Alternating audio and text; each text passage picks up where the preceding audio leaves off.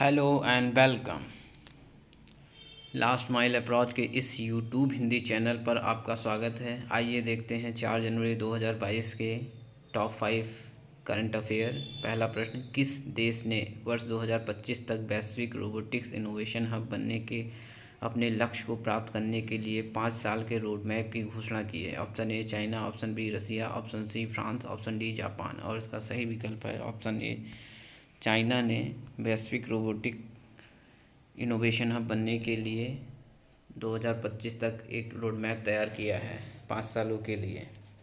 बढ़ते हैं दूसरे प्रश्न की ओर। यूनेस्को के सहयोग से किस देश द्वारा आभासी संग्रहालय वर्चुअल म्यूज़ियम स्थापित किया जाएगा?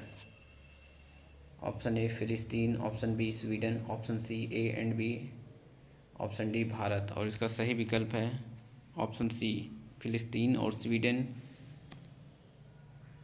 के हेल्प से यूनेस्को एक वर्चुअल म्यूज़ियम फ़िलिस्तीन में इस्टेब्लिश करेगा वहाँ पर स्थापित करेगा। स्वीडन इसको फाइनेंशियली या आर्थिक रूप से इसकी मदद करेगा फ़िलिस्तीन की। Option C is correct.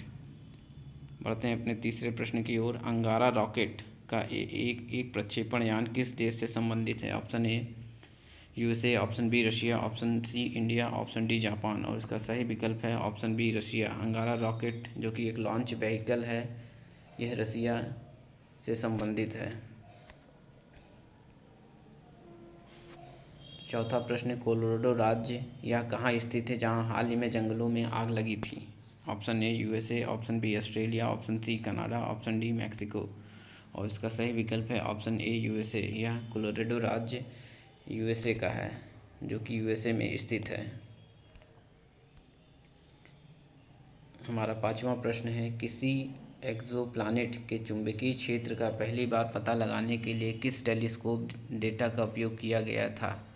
हाल ही में option A, Hubble telescope, option B, James Webb telescope, option C, optical telescope, option D, कोई नहीं। है उसका सही विकल्प है, ऑप्शन ए, हबल टेलीस्कोप का यूज़ पहली बार किसी एक्सोप्लानट पर चुंबकीय क्षेत्र की खोज करने के लिए उपयोग किया गया है। Thanks to all viewers and subscriber of last mile approach YouTube Hindi channel please like share support and subscribe our initiative